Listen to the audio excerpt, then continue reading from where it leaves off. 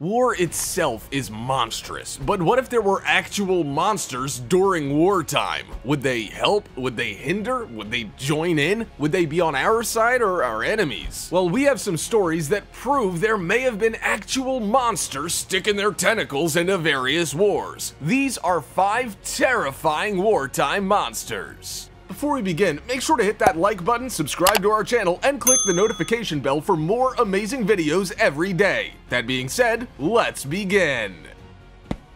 Huh? Number 5. The Congo Snake.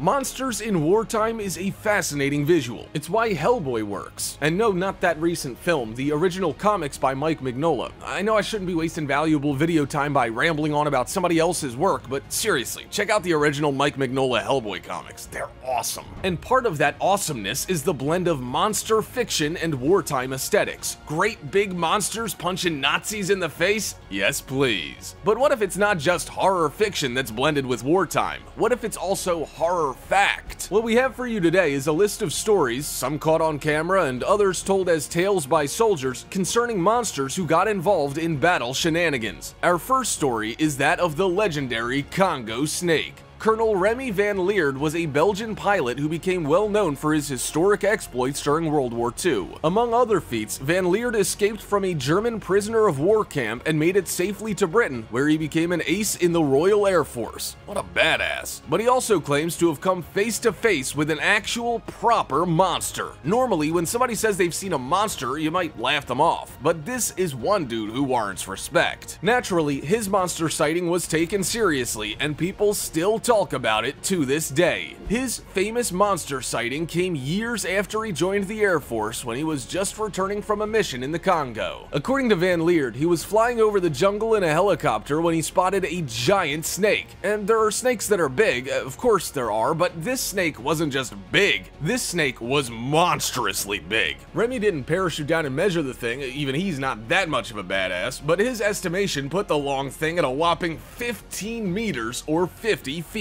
Color-wise, he's quoted as saying that the snake was very dark green with a white stomach. But the snake was no peaceful monster like Dr. Frankenstein's creation. It wasn't on our side like the aforementioned Hellboy. According to Van Lierde's account, the serpent even lunged right for the helicopter. He, uh, Van Lierde, not the snake, claims the snake reared up as if it was planning to attack the helicopter head on. Very fortunately, the copter was nowhere near close enough to the ground and the colossal snake ultimately didn't bother. As all hardcore cryptozoology fans will let you know, Van Lierde even managed to snap a photo of the snake, and said image has become an all-time classic among fans of all things cryptid themed. Unfortunately, the picture is fairly blurry and doesn't provide anything to indicate the scale, so it can't be used as proof that the snake really was that enormous. But still, Van Lierde stuck to his guns, insisting that the monster was a true giant and could easily have eaten up a man if it had wanted to. Given how respected Van Lierde is, the photo has continued to be used as evidence of potential monsters on Earth for decades. So we find ourselves facing two questions. One,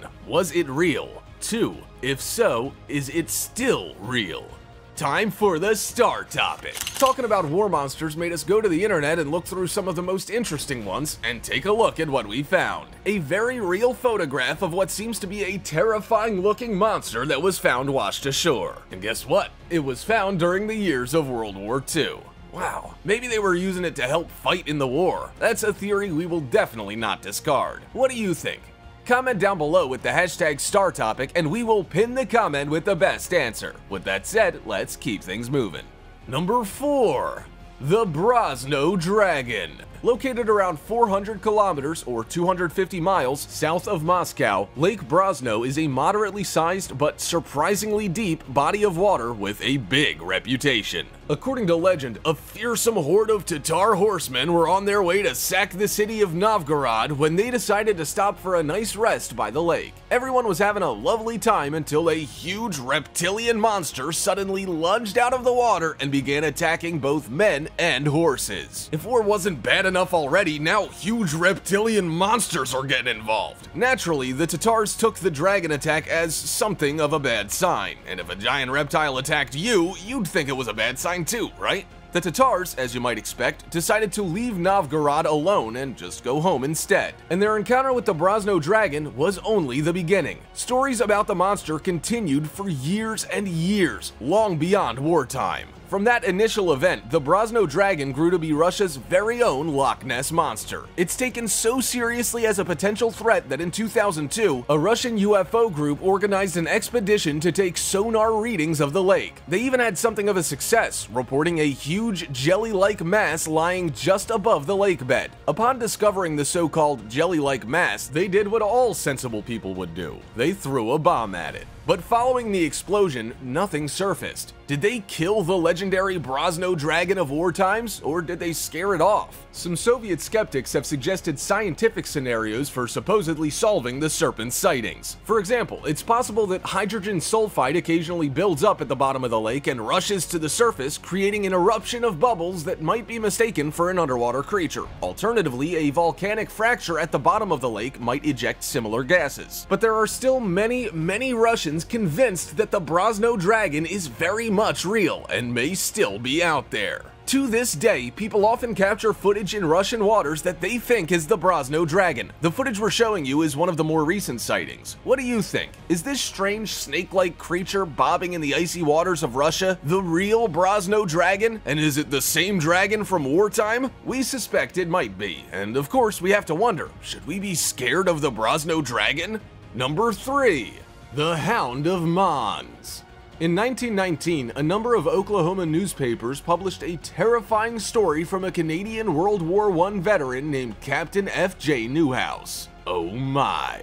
According to Newhouse, Allied soldiers in the trenches at Mons had found themselves hunted by a terrifying beast. If enemy soldiers weren't enough, now beasts described as terrifying are getting in on the action? Horrifying. Just horrifying. It all started in 1914 when Captain Yeskis of the London Fusiliers took four soldiers out into no man's land on patrol. When they didn't return, their comrades were obviously concerned and came to the conclusion that they might have been intercepted by the Germans. Already, that's terrifying, but the reality of the situation was even more gruesome. Days later, their dead bodies were found, and they were far more than just dead. It was clear that their bodies had been dragged ferociously as if by an animal and making things all the more terrifying was that each of the bodies had horrific bite marks across the throat. We know the Germans could be a little intense during both world wars, but that seems a little too much. From that point on, things only got worse. Terrible howls echoed across the landscape, and soldiers reported seeing strange movements beyond the barbed wire. Something significantly horrific was going down. Patrols into no man's land would be found horribly mauled as if by some great beast. Then, just as suddenly as it had appeared, the creature seemed to disappear again. The story of the Hounds of Mons reached a horrific conclusion. Gottlieb Hochmuller, a German scientist, was killed in a Berlin riot toward the end of the war. Once dead, people were able to go through his private papers. If recounts of what was found can be believed, the papers supposedly revealed a dastardly plot to transfer a madman's brain into a giant Siberian wolfhound, which was subsequently released into no man's land. This was part of a series of experiments which Hochmuller hoped would end the war in Germany's favor. I mean, that's literally the plot of a Hellboy comic. Personally, we can't wrap our head around this logic. He thought a giant dog could win the war? I mean, fair enough. It sounds like the dark Pixar film we've all been waiting for, so that's something. Number 2.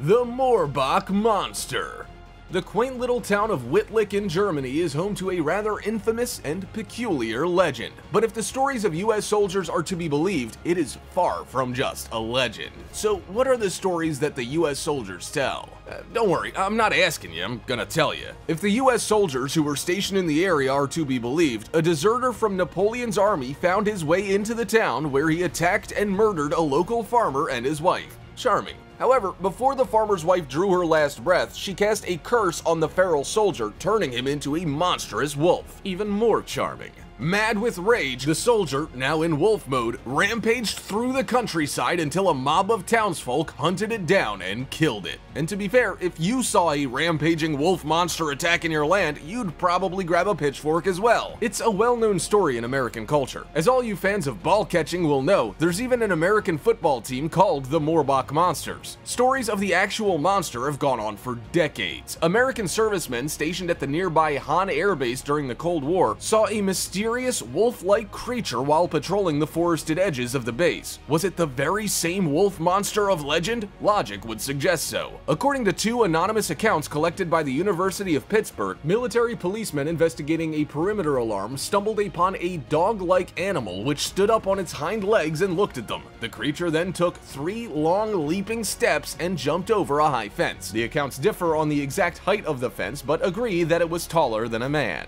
The beast then disappeared in into the forest. A sniffer dog was brought in, but it went berserk with fear, refusing to track the creature. Crikey. Matthias Burgard, an anthropologist from the University of Mainz, was intrigued by the plethora of stories, and so he began collecting several other stories from US servicemen who claimed to have had odd encounters with animals in the woods. One airman said that he had been stalked by a hidden, howling beast while walking his dogs. Another witness rejected the theory that the Americans might have been startled by local wild hogs, saying, I grew up on a farm in the USA, and this was no hog. So what do you think? Was the Morbach monster real and did it get involved during war times? Number 1. Nazis. Yeah, we went there. Which of these monsters would you least like to bump into? And if you were a soldier who encountered a monster, would you face it or run away? Also, check out our other cool stuff showing up on screen right now. See you next time!